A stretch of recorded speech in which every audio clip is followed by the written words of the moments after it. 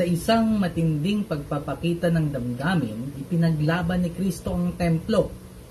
Bakit nga niya ba ito ginawa?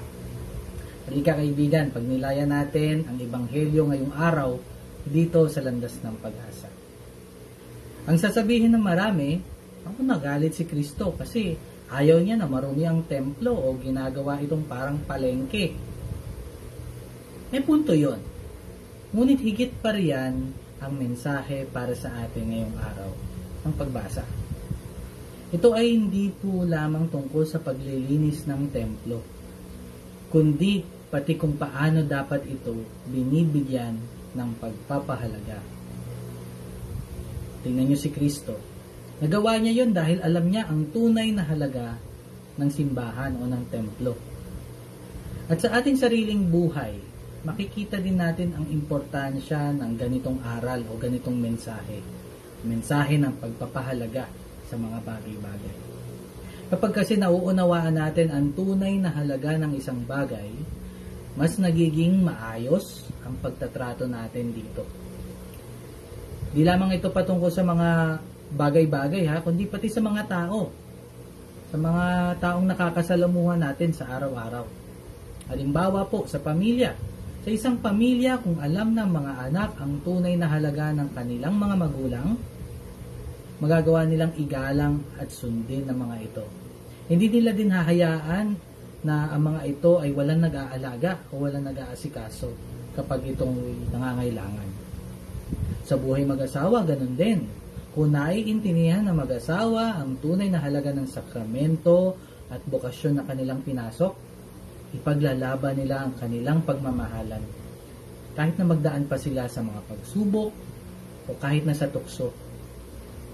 Sa trabaho, kung alam ng isang taong nagtatrabaho ang tunay na halaga ng kanyang ginagawa o ng negosyong kanyang pinapatakbo, kanya itong pilit pagsisikapan at palalaguin kahit na mahirapan pa siya.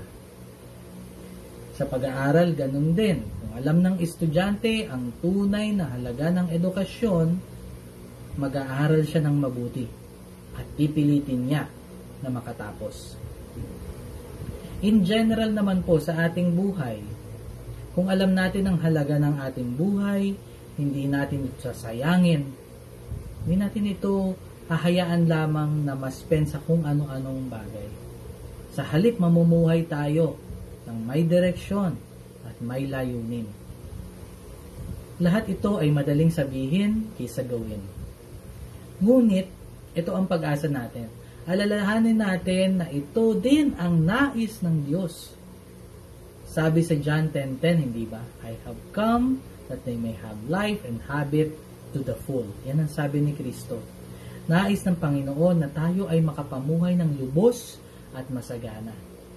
Kaya nga ipinadala ng Diyos sa atin ang kanyang banal na espiritu upang magkaroon tayo ng lakas at kakayanan na mamuhay ayon sa kagustuhan ng Diyos. Binabagot na ililinis ng banal na espiritu ang ating kalooban upang tayo man ay makasalanan ay maging kalugod-lugod ang ating buhay sa Diyos. Alam nyo yung mga tao sa templo, pagsunod din naman sa Diyos ang habol nila ang pagkakamali lamang nila noon ay masyado silang napatuon ng pansin sa mga patakaran sa halip na sa halaga, dahilan o saysay ng kanilang ginagawa. Doon sila naligaw. Yun ang ikinadismaya ng Panginoong Hesus sa kanila. Kaya naman si Kristo, inilaan niya ang kanyang buhay sa pagtuturo ng tamang paraan, sa tamang daan ng pagsunod sa Diyos. Pati nga yung kanyang pagpapapako sa krus at pagkamatay doon ay ginawa niya bilang ehemplo, bilang tanda. Ganito ang pagsunod sa kagustuhan, sa kalooban ng Diyos.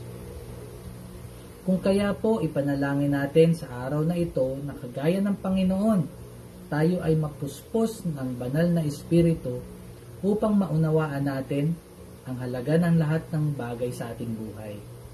Kung sa gayon, araw-araw ay mamuhay tayo ng ayon sa kagustuhan ng Diyos. Manalangin tayo. Diyos Ama, salamat sa iyong salita. na aming gabay at patnubay sa araw-araw. Nawa ang iyong mensahe ng pag-asa ay makahanap ng puwang at tumanim sa aming puso at mamunga ng maganda sa aming buhay. Sa ngalan ni Jesus. Amen.